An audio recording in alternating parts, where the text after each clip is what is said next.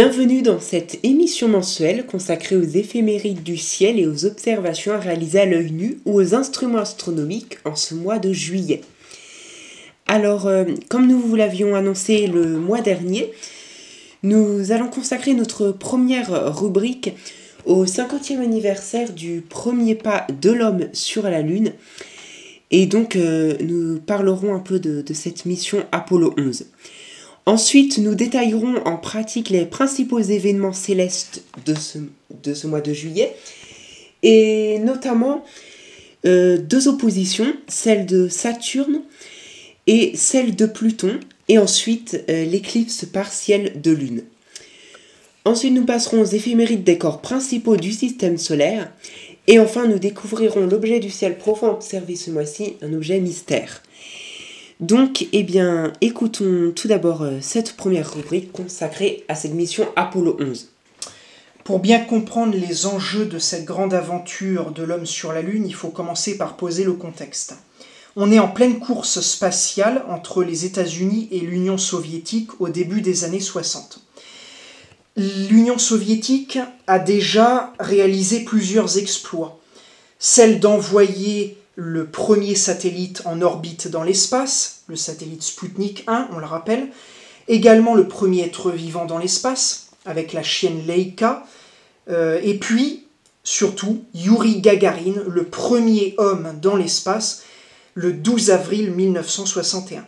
C'est suite à tous ces exploits et au piétinement de, de l'avancement des États-Unis dans cette course que le président américain John Fitzgerald Kennedy le 25 mai 1961, va fixer pour objectif, je cite, de faire atterrir un homme sur la Lune et de le ramener sain et sauf sur Terre avant la fin de la décennie.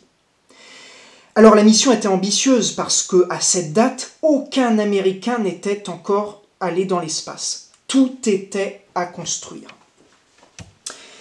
Les Américains ne vont pas y aller de main morte. Pour monter ce programme, ils vont poser un budget de 135 milliards de dollars.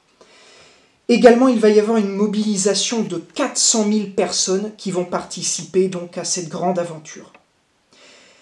Tout d'abord, plusieurs missions test au début des années 60, sans équipage, vont être essayées pour éprouver la fusée Saturne V, qui est alors la fusée la plus grande que l'on ait jamais conçue de toute l'histoire de l'humanité. 110 mètres de haut, plus de 3000 tonnes, capable de mettre en orbite 140 tonnes de charge utile. Il fallait donc l'essayer avant de pouvoir euh, tester le reste. Puis, en sept mois, quatre missions avec équipage, cette fois-ci, vont être euh, essayées pour concevoir les différentes phases d'une mission lunaire, notamment Apollo 7 en octobre 68, Apollo 8 en décembre 68 qui permettra d'ailleurs la première observation directe des astronautes de la face cachée de la Lune, avec un total de 10 révolutions lunaires. Puis Apollo 9 et Apollo 10 qui clôturera ses essais en mai 1969. Alors tout le monde connaît les trois astronautes qui ont été sélectionnés pour cette mission Apollo 11. L'innommable Neil Armstrong, Edwin Buzz Aldrin Michael Collins. Tous les trois ont cette particularité d'être nés la même année, en 1930. Le jour J est arrivé, c'est l'heure du lancement. Nous sommes le 16 juillet 1969. La fusée géante Saturne V s'élance depuis le centre spatial Kennedy en Floride avec les trois héros à son bord. Près d'un million de personnes assistent à l'événement en direct et sur place. Alors le vaisseau qui emmenait les trois astronautes vers la Lune était composé de trois parties. Un module de commande où étaient situés les trois astronautes, où ils vivaient, mangeaient. Un module de service où il y avait euh, tous les éléments techniques, les instruments et le centre nerveux et névralgique quelque part du vaisseau et le module lunaire qui devait permettre aux astronautes d'atterrir sur la Lune, qui était rattaché à ce vaisseau Apollo 11. Les trois astronautes vont vivre dans 6 mètres cubes et demi pendant 3 jours non-stop, avant d'arriver sur la Lune. C'est un espace qui est très restreint et qui se situe donc dans le module de commande comme je le disais tout à l'heure. Ensuite donc, deux astronautes sur trois, Neil Armstrong et Buzz Aldrin, vont sortir du module de commande pour s'installer dans le module lunaire qui est dénommé Eagle, en français l'aigle. Et ce module doit leur permettre d'allunir euh, à la surface de la Lune. Michael Collins, quant à lui, restera dans le module de commande et,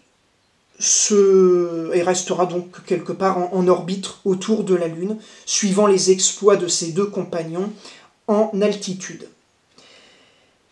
Alors, il va se passer quand même quelques petits imprévus pendant la descente du module lunaire vers le sol.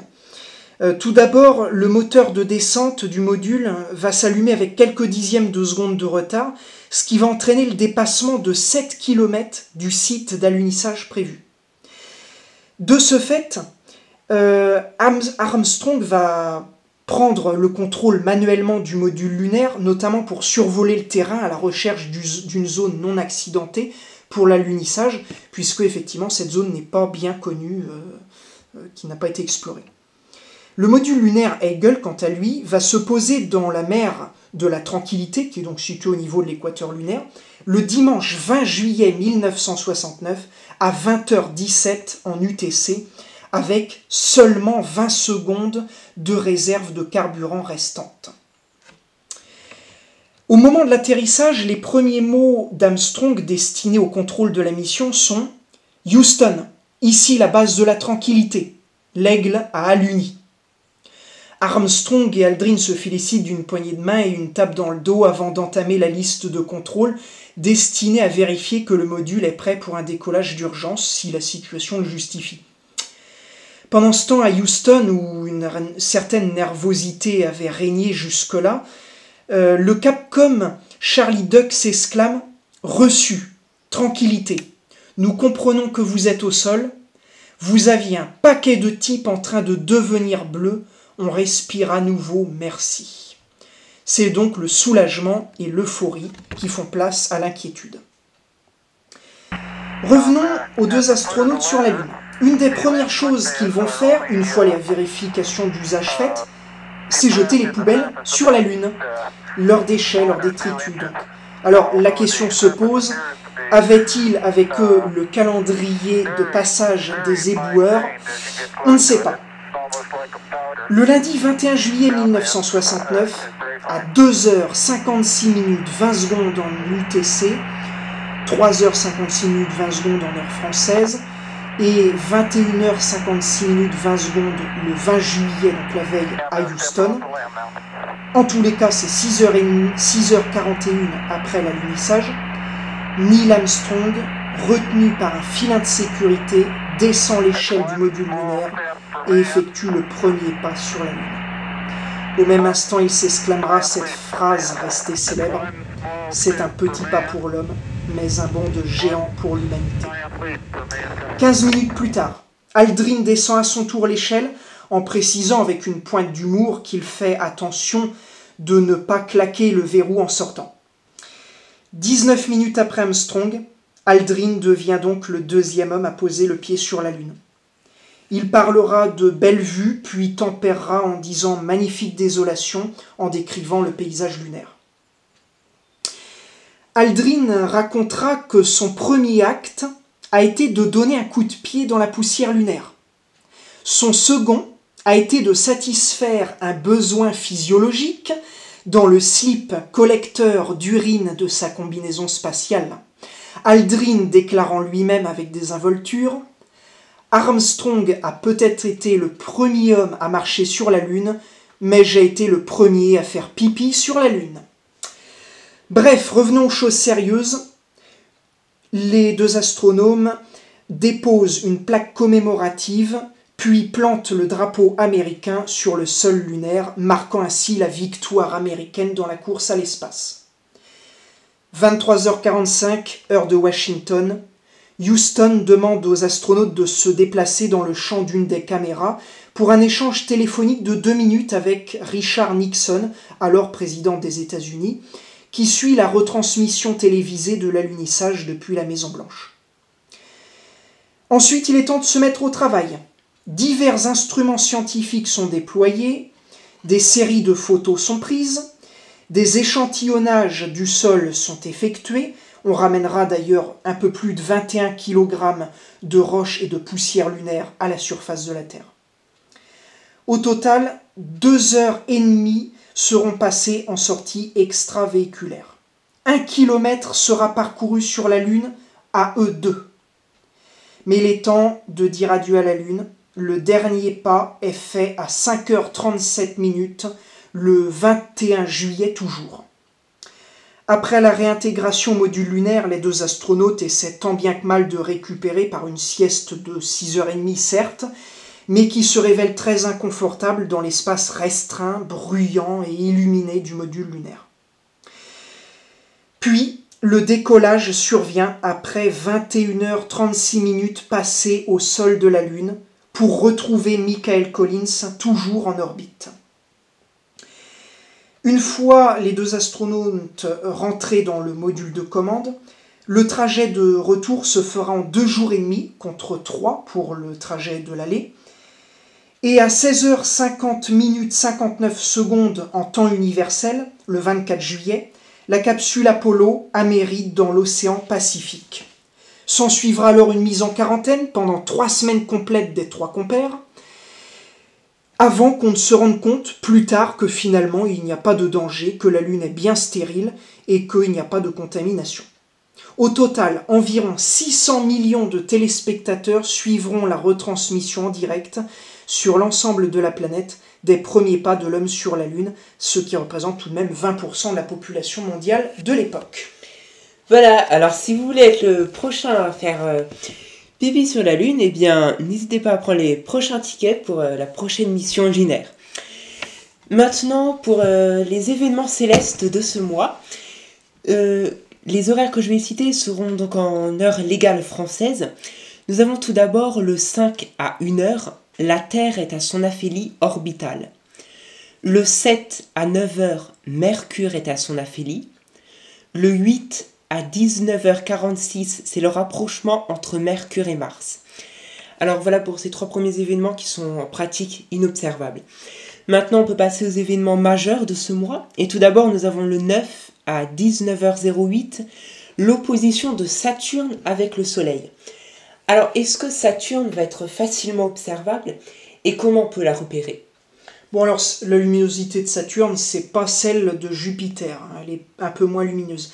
Mais c'est vrai que Saturne reste quand même un astre très lumineux puisque elle égale à peu près certaines des étoiles les plus lumineuses du ciel. Donc elle est quand même euh, assez inratable, on va dire.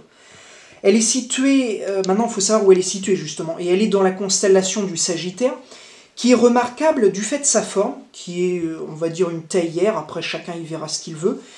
Et cette constellation-là, et donc Saturne qui l'accompagne, sont situées assez bas sur l'horizon sud, donc les conditions ne vont pas être idéales, en tout cas pour cette année.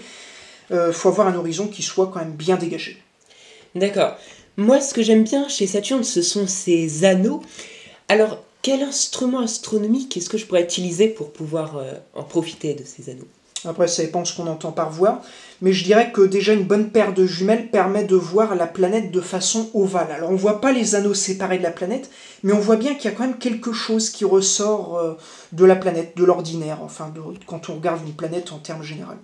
Maintenant, pour bien séparer les anneaux de la planète, et pour les voir de façon plus confortable, on va peut-être plutôt utiliser une petite lunette de 50 ou 60 mm d'ouverture avec un grossissement de 50 fois minimum. Hein. Et là, on va voir effectivement cet anneau.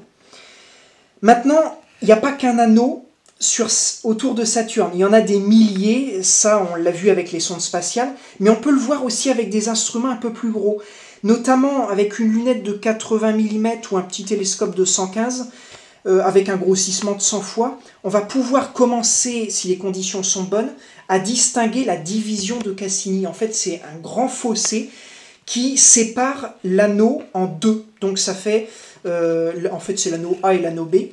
Et ces, ces, deux anneaux, en fait, on va même distinguer une différence de luminosité entre les deux, avec un télescope modeste, hein, toujours. et l'ombre qui est portée de la planète sur les anneaux. Alors ça, c'est dans des situations particulières quand la planète elle est en quadrature, donc quand elle est plus alignée avec la Terre et, le Soleil. Voilà. Maintenant, avec des instruments plus gros, au moins du 250 mm d'ouverture, on va pouvoir commencer à distinguer une deuxième division. C'est la division de Hank, qui est quand même beaucoup plus discrète. Et sur la planète elle-même, qu'est-ce qu'on peut voir d'intéressant? Alors c'est vrai que bon, la planète elle-même est un peu moins intéressante que ses anneaux. Hein. Ceci dit, avec euh, un instrument de 100 mm d'ouverture, on va distinguer qu'une ceinture équatoriale est un peu plus claire que le reste de la planète, éventuellement aussi que ses pôles sont un peu plus sombres. Voilà, donc des différences de luminosité sans plus. Avec un télescope de 200 mm d'ouverture euh, minimum, on va commencer à observer quelques détails. Des tempêtes en particulier, qui vont se présenter sous la forme de, de spots brillants à la surface, qui se déplacent. Ce qu'on sait aussi, c'est que sur euh, Saturne comme sur Jupiter, euh, il y a plusieurs lunes autour. Alors comment les observer? Alors, donc, on connaît Titan qui est le plus gros satellite. Il y a aussi Rhea, le deuxième plus gros satellite de Saturne. Tous les deux sont visibles avec une lunette de 60 mm d'ouverture. Ensuite, il y en a d'autres, hein, des satellites. Il y en a même plus que pour Jupiter. Il y a Tétis et Dionée qui sont visibles dans un télescope de 115 mm. Éventuellement Japet, mais alors Japet, sa luminosité varie parce qu'elle a deux hémisphères qui n'ont pas la même couleur, la même luminosité. Et donc, elle va peut-être être visible dans un petit télescope à certains moments, mais elle sera visible, elle ne sera plus visible que dans de gros instruments à d'autres moments. Ensuite, vous avez en cela des mi-masses alors là, par contre, il va falloir des télescopes un peu plus gros, au moins 200 mm, voire 300 pour mi-masse. Et je terminerai en disant que bon, il y a aussi des transits de Lune sur Saturne, hein, comme pour Jupiter. Ces transits-là qui font qu'il y, a, il y a une ombre portée de Lune sur le disque saturnien. Euh, ça va s'observer dans des instruments assez modestes, un télescope de 200 mm d'ouverture. C'est suffisant, ça dépend de la taille de la Lune évidemment. Ce qui existe aussi, ce sont des filtres pour euh, mieux voir euh, certains, certains points sur euh, ces astres. Donc, quels, lesquels vous nous conseillez? Il n'y en a pas vraiment, je dirais, d'obligatoire, de, recommander pour Saturne. Éventuellement, celui qui peut être utile, c'est le filtre jaune. Mais bon, c'est on, on peut s'en passer. Est-ce qu'il est possible de faire de la photo? Oui, bien sûr. Alors bon, après, c'est vrai que euh, au niveau de la photo, bon, tout dépend ce qu'on utilise comme matériel. Le mieux, si, si, vous êtes vraiment sur de la photographie de surface, du détail du disque planétaire, là on va, se tourner vers des webcams ou des caméras CCD. Maintenant, si vous vous tournez plutôt vers la photographie lunaire, sachant qu'on ne peut pas faire les deux, et photographier le disque planétaire et des détails dessus, et en même temps photographier les lunes, on va forcément surexposer la planète pour pouvoir euh, prendre euh, les, lunes en photographie. Bon là après, euh, tout type d'appareil est convenable hein, pour Saturne, de toute façon il n'y a, pas de, d'appareil type on va dire. Voilà donc pour cette première opposition. Maintenant le 14 à 16h49, c'est l'opposition de Pluton avec le Soleil. Alors bien sûr, elle n'est pas visible à, à l'œil nu ni aux instruments, c'est difficilement, c'est difficile d'observer. Alors comment faire? Oui, alors effectivement, Pluton, elle a une magnitude de supérieure à 15 ça veut dire qu'elle euh, est complètement invisible à l'œil nu et dans la plupart des instruments astronomiques. Enfin, après, tout dépend des conditions. Il faut déjà savoir où elle se situe exactement si vous voulez euh, avoir ce défi d'observer Pluton. Alors Pluton, elle est dans la constellation du Sagittaire, pas très loin de Saturne en fait. Quand vous observez Saturne, Pluton, elle est visuellement à l'est, c'est-à-dire à gauche, hein, directement de Saturne quand les deux astres hein, passent au, méridien, voilà donc au niveau de, l'horizon sud. Pour observer Pluton, il faudra au moins un télescope de 200 mm en visuel, et encore, euh, c'est dans d'excellentes conditions atmosphériques. Et ne vous attendez pas à voir un disque, même aussi petit soit-il, c'est impossible, et encore moins de détails à la surface. C'est réservé à des instruments professionnels, voire à Hubble, et encore, parce que même les images de Hubble de Pluton sont extrêmement floues. Le 16 à 23h38, c'est l'éclipse partielle de Lune. Alors à quel moment euh, on peut observer la Lune et comment observer? Alors la Lune, en fait, globalement, elle se lève à 21h45 en heure locale, en heure légale française. hein. Et juste après, donc un quart d'heure après, l'éclipse commence. Donc il est possible, notamment dans certaines régions de France, hein, de métropole, que vous ne puissiez pas voir le début de l'éclipse. hein. Le début, c'est 22h01. Donc l'ombre va grignoter petit à petit la surface de la Lune jusqu'à 23h30 maximum. Elle va s'arrêter à peu près à la moitié. hein. Donc la, Lune ne va pas rentrer complètement dans l'ombre de la Terre. Et on verra encore, euh, je dirais, un- une bonne partie de la Lune qui sera encore illuminée. Et enfin, l'éclipse se terminera à 1h du matin le lendemain, donc le 17. Voilà. Euh, donc là, la Lune sera observable donc dans, dans la direction sud-est au moment du lever. Il s'agit également d'avoir un horizon bien dégagé pour l'observer parce que euh, ça va se passer très bas sur l'horizon. Sachant que le spectacle est parfaitement visible à l'œil nu.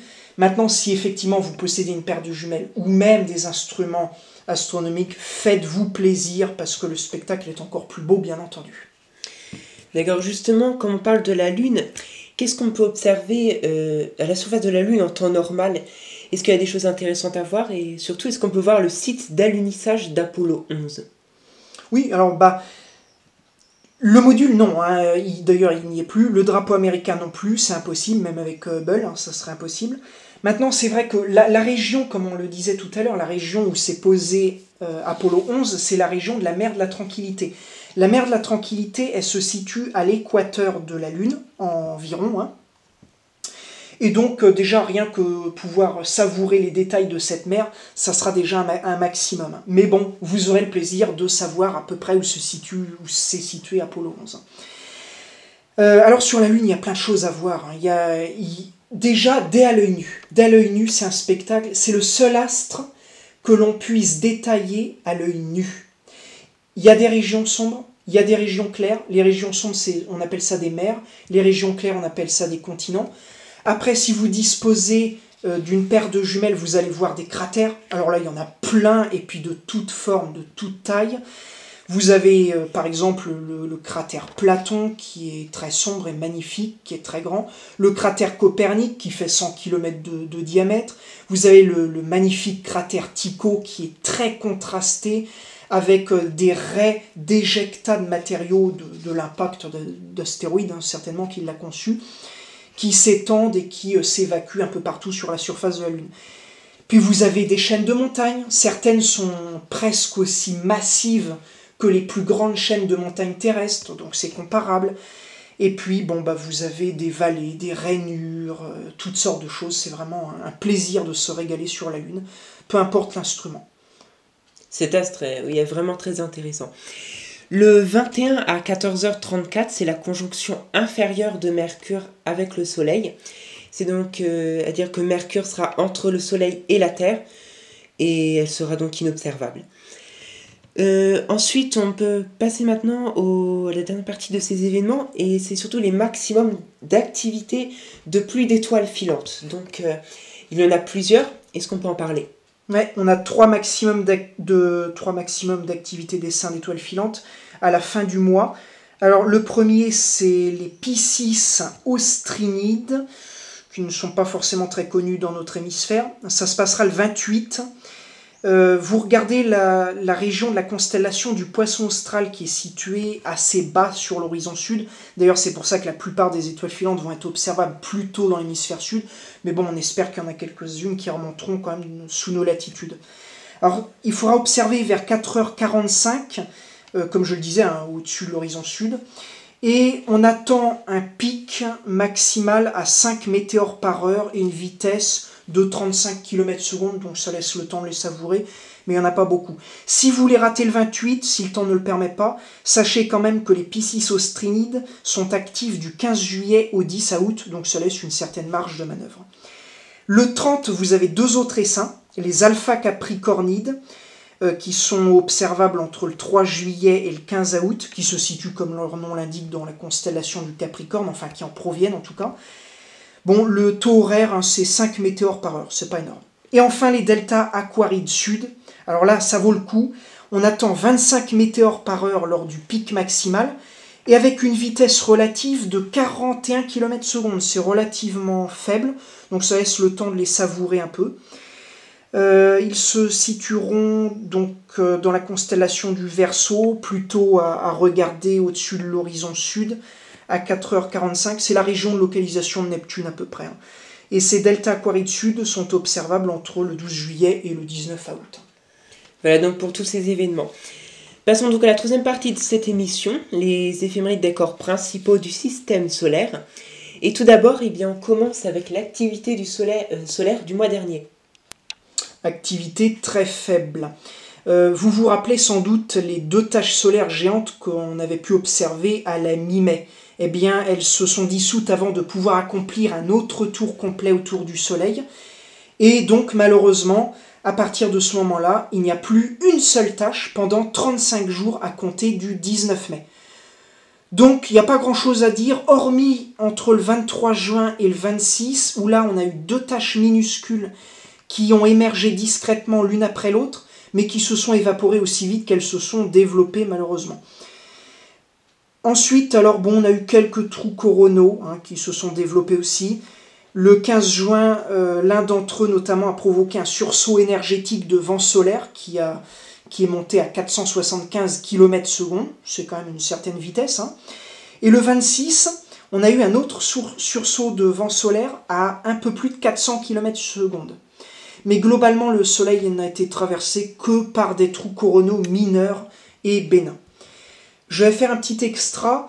Euh, bon, ça n'a pas vraiment de rapport, hein, mais à la mi-juin, on a observé sous nos latitudes, c'est un phénomène assez rare pour être souligné, des nuages noctiluques, qu'on appelle aussi noctulescents. Et ils ont été observés dans le nord de la France jusqu'à Paris. D'habitude, ces nuages-là, on les observe un peu plus haut en latitude, surtout autour des, pôles, enfin surtout autour du pôle nord. Ce sont des nuages qui sont situés entre 75 et 90 km d'altitude et qui sont dans la région la plus froide de l'atmosphère terrestre, à moins 100 degrés Celsius. Alors à quoi ils ressemblent Je dirais aux cirrus. Hein, donc des nuages qui présentent un aspect filamenteux, mince et allongé. Ils ont une couleur bleu argenté qui est due à la réflexion du soleil sur des cristaux de glace ultra fins. Leur région de localisation dans l'atmosphère est habituellement extrêmement sèche, mais leur présence signale qu'il bah, y a une hausse d'humidité et donc ça va provoquer une condensation sur des poussières probablement d'origine météoritique. Alors ces nuages vont être visibles à l'œil nu entre 1 heure et 2 avant le lever et après le coucher du soleil, quand celui-ci est entre 6 et 12 degrés sous l'horizon. Le soleil les éclaire alors par en dessous, et la, meilleure période pour les observer, c'est aux alentours du solstice d'été, quand la mésosphère, c'est-à-dire la région de l'atmosphère où il se situe, est la plus froide, et au moment également où le Soleil s'approche au plus près du, pôle Nord. Donc c'est vraiment une observation à faire, on est en plein dedans, et bah, on n'est jamais à l'abri de surprise, donc essayez de surveiller le ciel, direction nord ces prochains jours, avant le lever ou après le coucher du Soleil. Voilà. Pour ce qui est de la Lune, le 2 à 19h16, elle sera nouvelle. Le 5 à 4h54, la Lune sera au périgée. Le 9 à 10h55, on pourra observer le premier quartier de la Lune. Le 16 à 21h38, c'est la pleine Lune. Le 21 à minuit 01, la Lune sera à l'apogée. Et le 25 à 1h18, le dernier quartier de la Lune sera observable. Pour ce qui est de Mercure, elle sera difficilement observable au coucher du Soleil. Vénus sera inobservable. Cérès sera observable une grande partie de la nuit. Junon sera inobservable. Pallas sera observable une grande partie de la nuit. Vesta sera observable en seconde moitié de nuit.